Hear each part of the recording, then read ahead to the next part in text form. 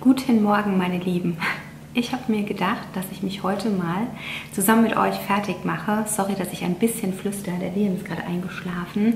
Denn äh, viele von euch haben sich das mal gewünscht, dass ich einfach mal ja, erzähle bzw. zeige, wie ich mich schminke. Vielleicht wollt ihr euch ja zusammen mit mir zurecht machen, beziehungsweise euch die Fingernägel lackieren oder bügeln oder mir einfach zuhören. Holt euch am besten aber schon mal was zu trinken, denn ich denke, es wird ein etwas längeres Video. Ich werde es nämlich nicht schneiden, also ich versuche es und äh, wir legen jetzt einfach mal los. Ich habe mir die Haare schon mal hochgemacht und habe mir meine feuchtigkeitsspendende Tagespflege schon aufgetragen. Als nächstes trage ich mir immer meine Augenpflege auf und die ja, versuche ich natürlich mit dem kleinen Finger bzw. mit dem Ringfinger dann äh, ja, einzuarbeiten, einzuklopfen, kann man das so sagen.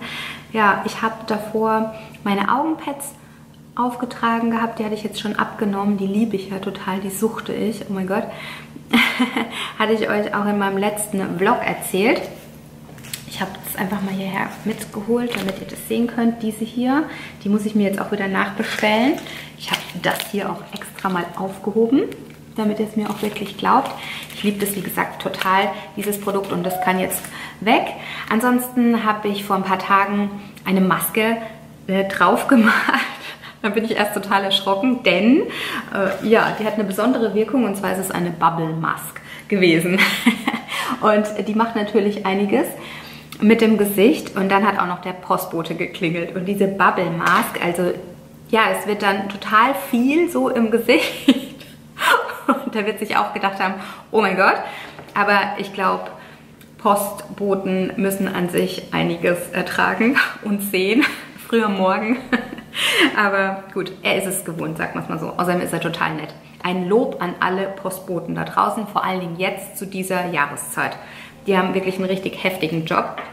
Die Augenpflege ist jetzt schön hier am Einwirken, deswegen habe ich ein bisschen mit euch gequatscht. Als nächstes trage ich mir noch einen Korrektor auf, diesen hier von Becker. So sieht das Produkt aus. Aber ich kann euch gerne mal alles unten in der Infobox verlinken, von dem ich jetzt heute spreche, damit ihr dann nicht so lange danach suchen müsst. Aber die Augenringe sind da, definitiv. Wenig Schlaf und so mit Baby. Wobei, es ist ja jetzt kein Baby mehr, ne? Also der Liam ist jetzt ein Kleinkind. Er hatte ja Geburtstag am Sonntag und das war so aufregend. Wir haben aber nicht groß gefeiert, ganz im Gegenteil. Wir haben sehr, sehr klein gefeiert. Das war mir sehr wichtig. Und ich habe den Tag total genossen. Ich war sehr melancholisch und es war trotzdem total schön. Ich habe ein paar kleine Sequenzen gefilmt. Mal schauen, ob ich euch das dann irgendwie irgendwann noch online stellen werde. Da sind übrigens noch die Luftballons. Ich weiß nicht, ob ihr sie sehen könnt. Da wahrscheinlich spiegeln sie sich. Und wir, also ich kann euch ja mal ein bisschen was erzählen. Und zwar sind wir essen gewesen in dem Lokal, in dem wir auch die Taufe gefeiert haben. Also das habe ich mir halt gewünscht, ne, dass wir essen gehen, dass ich hier nichts kochen muss. Und ja, das war natürlich richtig schön. Also das ist ein Sternekoch und äh, es ist halt richtig lecker, aber es ist schon was sehr Besonderes. Denn äh, ja, Sternekoch sagt schon, es ist sehr teuer. Aber wie gesagt, sehr, sehr lecker. Und ich habe auch keinen Kuchen gebacken, denn ich bin nicht so der Pro, was Backen betrifft. Also Plätzchen und so geht gerade, aber... Also ich kann auch Kuchen backen, aber ich mache es nicht so gerne. Und so eine Torte hätte ich nicht hinbekommen. Und deswegen habe ich eine bestellt. Also die ist wunderschön geworden. Und ja, dann haben wir eben Kuchen gegessen. Meine Freundin ist gekommen, meine Schwester konnte leider nicht kommen, mein Bruder auch nicht. Da war ziemlich viel los im Restaurant. Und deshalb ja, waren wir eben im kleinen Kreis, also wir und meine Freundin. Dann später kam noch ihr Freund. Und ja, wir sind ja allein schon sieben Personen. so viel zum kleinen Rahmen. Der Max hat die Geschenke ausgepackt. Das hat er übernommen, aber ich muss auch dazu sagen, der Liam hat nicht viel bekommen. Das war mir auch sehr wichtig. Denn so kleine Kinder verstehen das auch noch gar nicht. Er hat auch nichts zum Nikolaus bekommen. Rabenmutter. Ja, aber er hat hier einiges und es reicht definitiv, zumal sich so kleine Kinder auch mit Schüsseln beschäftigen und Deckel in der Küche. Wenn du dem Liam eine Plastikflasche in die Hand gibst mit Deckel, da ist er beschäftigt und ja, das, wie gesagt, deswegen war mir das wichtig, dass ähm, er eben nicht überhäuft wird. Zumal jetzt auch noch Weihnachten vor der Tür steht. Ja, und ansonsten läuft der Liam ja jetzt auch schon ganz fleißig hier durch die Gegend. Der ist mächtig stolz. und es ging jetzt auch richtig, richtig schnell. Aber die Fortschritte gerade im ersten Jahr sind natürlich der absolute Wahnsinn. Ne? Also es, ist, es geht halt super schnell. Und ja, aber da sind halt alle richtig, richtig stolz, ne, wenn er dann wieder was Neues kann. Äh, den Sponge dürfte ich auch mal waschen, ne? mein Gott, was ich euch heute zeige, ne? Der Wahnsinn. Ich habe auch ein bisschen zu viel Foundation genommen. Oh, der Liam ist wach. ja, ich habe zu viel Foundation genommen, die mache ich mir jetzt gleich ab. Ich möchte ja nicht so maskenhaft aussehen. So, jetzt hier ein bisschen von dem Baking Powder von der Tara. Also reden und schminken ist gerade ein bisschen schwierig. Ich mache mir das mal eben ab und dann bin ich gleich wieder da. Ja, da bin ich wieder. Ich hoffe, ihr habt euch was zu trinken geholt, denn ähm, ich glaube, ich habe es schon dazu gesagt, das Video wird wahrscheinlich ein bisschen länger. so, gut. Äh, mit dem Übrigen, also das fege ich nicht einfach nur so weg. Das nehme ich dann noch so für mein Gesicht und mattiere es. Denn so im Laufe des Tages, ja, glänzt man dann doch ein bisschen und ich puder mich nie nach, also nie. Auch ganz selten, dass ich dann nochmal an den Spiegel gehe und irgendwas nachbessere, es sei denn, ich hätte irgendwie einen wichtigen Termin oder so, aber nicht mal dann, auch nicht, wenn ich dann auf die Arbeit fahre abends, das, ja, so wie ich halt aussehe, sehe ich aus, ne? So, Pech gehabt. Erzählt mal, schreibt mir doch mal in die Kommentare, ob ihr schon alle Weihnachtsgeschenke gekauft habt. Also das würde mich echt interessieren. Seid ihr eigentlich mehr so die Online-Shopper oder geht ihr dann in die Stadt, ins Getümmel, beziehungsweise auf den Weihnachtsmarkt? Wie ist das für euch? Erzählt mal, das interessiert mich. Also ich habe noch nicht alle Weihnachtsgeschenke, ganz im Gegenteil. ähm, ja, und Weihnachtsmarkt bin ich jetzt auch nicht so der Typ. Wir waren jetzt zwar am Samstag mal in der Stadt, und da sind wir eben zufällig über den Weihnachtsmarkt gelaufen, aber nur ganz kurz. Also es war unglaublich viel los und das ist nicht so meins. Also wir trinken ja auch kein Glühwein und ja auch kein Kinderpunsch oder so. Und dann mit dem Kinderwagen, das ist natürlich so ein bisschen schwierig. Aber so die Atmosphäre ist schon total schön. Alle stehen so zusammen und erzählen und sind fröhlich. Ja, das ist eigentlich schon echt schön. Und die ganzen Lichter, das gefällt mir schon sehr gut, aber wie gesagt, wir sind ja jetzt nicht so, dass wir uns verabreden mit Freunden und dann auf den Weihnachtsmarkt fahren. Ja, das machen wir leider nicht. Aber ihr könnt mir sehr gerne mal erzählen, wie das bei euch so ist. Und zu den Weihnachtsgeschenken, wie gesagt, also der Luki, äh, dem habe ich das jetzt am Wochenende bestellt, sein Geschenk. Da war er auch dabei. Die Kinder, die können es ja jetzt schon selbst mittlerweile. Ne? Die sagen auch, was sie gerne möchten. Und äh, der Max, der hat sich einiges an Klamotten bestellt, also zu viel, meiner Meinung nach. Also, und der Alessandro, der wollte zwei Pullis vom Riede.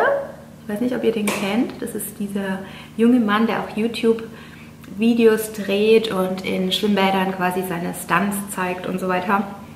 Den haben wir ja auch mal getroffen in Frankfurt, da war der Alessandro ganz, ganz glücklich. Ja, von dem hat er sich zwei Pullis gewünscht, also den Merch von ihm. Und der Moritz, ich weiß gar nicht, was der Moritz sich wünscht. Und der Liam wird, ähm, keine Ahnung, was bekommen. Das weiß ich auch noch nicht. Wie gesagt, er hatte ja jetzt erst Geburtstag. Dazu hatten mich auch viele gefragt, was er denn geschenkt bekommen hat. Ich wollte euch eigentlich ein Video dazu drehen, aber ganz ehrlich, wie gesagt, er hat so wenig bekommen. Ähm, es wird ein sehr kurzes Video, aber ich kann es euch gerne abdrehen, wenn euch das interessiert. Es ist tatsächlich ein bisschen schwierig zu quatschen und sich zu schminken. Das müsst ihr echt mal probieren. ist einfacher für euch zuzuschauen. Ja. Ja, und für Weihnachten haben wir eigentlich soweit nichts Großartiges geplant. Meine Mama wird leider nicht kommen. Sie ähm, möchte gern bei Papa bleiben. Also ich habe ihr das versucht auch zu erklären, dass es der Papa ähm, sicher nicht so gewollt hätte und auch nicht merkt, ob sie da jetzt am Friedhof ist oder nicht. Aber ich meine, ich kann das natürlich verstehen.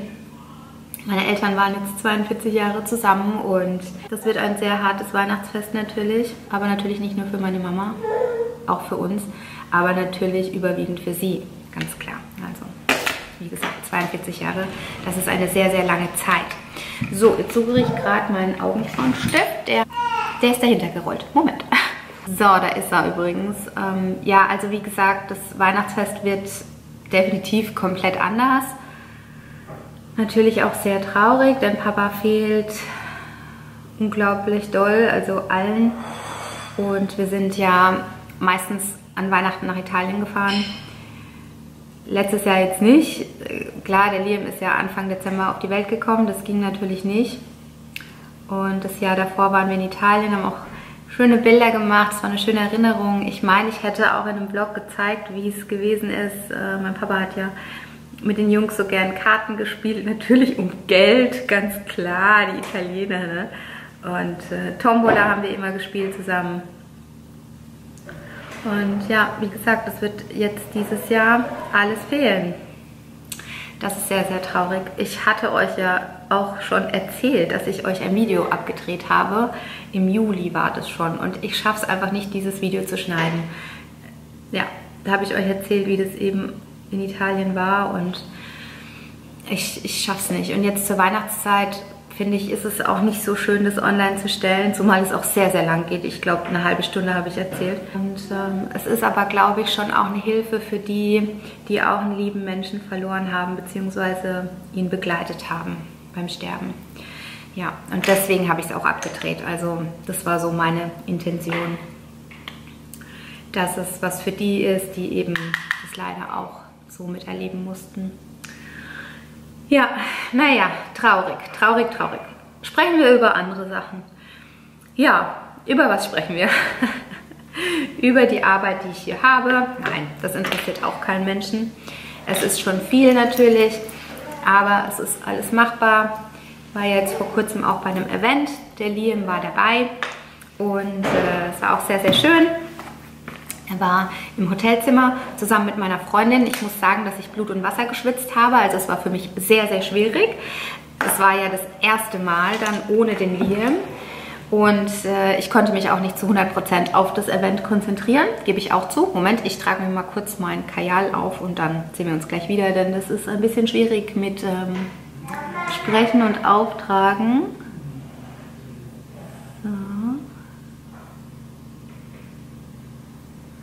So, das geht dann doch tatsächlich besser, wenn man nicht dabei spricht. Also ich schaffe das nur so, ohne dabei zu sprechen. Jetzt trage ich mir noch Mascara auf. Und das war es eigentlich schon. Also ich brauche tatsächlich, wenn ich alleine bin, äh, fünf Minuten. Ja, nicht mal fünf Minuten. Das geht ganz, ganz schnell. Meistens ist der Liam auch dabei. Und dann lege ich ihm immer die ganzen Sachen hin. Dann ist er erstmal beschäftigt. Und ich kann mich dann ganz, ganz schnell, wie gesagt, fertig machen. Ja, also kein großes Hexenwerk, ne, wie man sehen kann.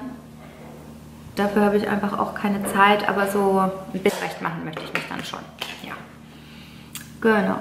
So, jetzt noch ein bisschen Lippenstift, aber nur für euch, für die Kamera. Zu Hause mache ich mir den nicht drauf, ist ja klar. Nur wenn ich dann eben rausgehe. Hm, mag ich super gerne. Ich finde, der ist sehr passend für diese Jahreszeit. Aber quatschen und Lippenstift auftragen geht jetzt auch nicht. Moment. So, und da bin ich schon fertig. Ja, wie gesagt, ich brauche morgens wirklich maximal fünf bis zehn Minuten und der Liam ist dabei. Meistens, jetzt hat es aber ganz gut gepasst, dass er eben eingeschlafen ist und deshalb habe ich mir gedacht, ich nehme euch mit dazu. Ich hoffe, ihr freut euch. Sorry, dass es vielleicht ein bisschen durcheinander war. Falls ihr noch Fragen habt, äh, schreibt mir das sehr, sehr gerne. Vor allen Dingen freue ich mich über euer Feedback. Also erzählt mir ruhig ein bisschen was, also was ihr natürlich möchtet und ne, wenn ihr sagt, nee, also möchte ich jetzt nicht erzählen, also gar kein Problem. Ich finde es halt so schön, den Austausch, wenn ich auch ein bisschen was von euch erfahre. Ganz klar, ihr wisst ja so einiges von mir bzw. von uns und da ist es eben für mich auch mal schön, eure Sicht äh, zu lesen bzw. wenn ihr mir eure Stories erzählt. Ich lese es tatsächlich auch alles durch. Ich schaffe es nicht immer komplett zu antworten, also Herzchen verteile ich auf jeden Fall, aber in der Nacht äh, ja, schaue ich schon immer drüber. Ihr wisst ja, ich bin so eine Nachteule. Und äh, da lese ich mir, wie gesagt, alles durch und ich freue mich immer über euer Feedback, wirklich immer. Und auch wenn es konstruktive Kritik ist, so wie es letzte Mal, das fand ich sehr, sehr gut, dass die Abonnentin mir das geschrieben hat. Und zwar ging es um Instagram, dass sie ähm, das doof findet, wenn man sagt, ja, das habe ich euch ja schon auf Instagram gezeigt, denn sie nutzt kein Instagram, sie möchte sich dort auch nicht anmelden und dann verpasst sie so für sich sagt sie, sie verpasst dann halt immer das, was ich da zeige und sie kommt da nicht so richtig mit. Und plötzlich habe ich mir gedacht, ja, da hat sie eigentlich total recht. Also finde ich gut, dass sie mir das geschrieben hat. Und dann kamen eben auch einige dazu, die das auch geschrieben haben. Und deshalb werde ich das ändern. Und da freue ich mich natürlich, wenn ich so ein Feedback bekomme und das jetzt eben anders und dann eben besser machen kann. Ja, so jetzt als Beispiel. Und ja, danke auch für euer Feedback zu meinen Haaren. Das hätte ich auch nicht gedacht, dass da so viele Kommentare kommen und so viele Komplimente. Ich bin noch nicht zu 100% zufrieden mit der Farbe. Aber wer hätte es jemals gedacht, dass ich meine Haare so kurz schneiden lasse von, also ihr wisst ja, wie lang meine Haare waren, und dass ich auch noch die Farbe ändere. Also der absolute Wahnsinn, ja. So ändern sich halt die Zeiten und die Geschmäcker. Und deshalb auch hier nochmal vielen, vielen Dank. Ich muss tatsächlich wieder zum Friseur und meinen Ansatz färben. Oh mein Gott, sieht echt schrecklich aus. Aber da hilft mir immer mein L'Oreal Retouch. Habe ich euch auch schon mal gezeigt. Und ja, jetzt würde ich mich an dieser Stelle verabschieden. Sorry, wie gesagt, wenn es ein bisschen durcheinander war. Es war jetzt mal ein bisschen ein anderes Video, ein Laber-Video. Ich hoffe, dass es euch gefallen hat. Ich schulde euch auch noch ein Question and Answer. Das habe ich leider auch noch nicht geschafft. Das ist auch schon eine Weile her. Aber ihr wisst ja, was dazwischen passiert ist und Habt da mit Sicherheit Verständnis, dass ich da jetzt nicht so die Kamera raushole und irgendwelche lustigen Fragen beantworte. Also ich versuche euch natürlich immer mitzunehmen, aber ihr seid natürlich nur einen ganz kleinen Teil äh, meines Lebens oder meines Tages mit dabei. Und ähm, ja, wenn ich es aber schaffe, wenn der Liam eine gute Betreuung hat, so wie gerade, seine Brüder passen gerade auf, dann drehe ich euch das natürlich sehr, sehr gerne ab. Und jetzt hole ich meine Brille, damit ich ein bisschen was sehe. Ich verlinke euch natürlich alle Produkte unten in der Infobox, damit ihr nicht lange danach suchen müsst. Wie gesagt, hatte ich ja schon erwähnt, keine Sorge, keine Produktplatzierung und ähm, ja, einfach nur für euch, damit ihr da einfach nicht äh, lange suchen müsst, beziehungsweise für die, die es eben interessiert, welche Produkte ich verwende. So, meine Lieben, jetzt wünsche ich euch eine wunder wunderschöne Vorweihnachtszeit. Ich habe jetzt genug gequatscht. Genießt auf jeden Fall Weihnachten mit euren Lieben. Wir sehen uns auf jeden Fall vorher noch. Ich äh, habe noch ein paar Videos, die ich euch gerne online schicken möchte. Aber wie gesagt, genießt die Vorweihnachtszeit, äh, macht das Beste draus und ähm, ja, dann hoffe ich, dass wir uns im nächsten Video wiedersehen. Bis dann. Tschüss!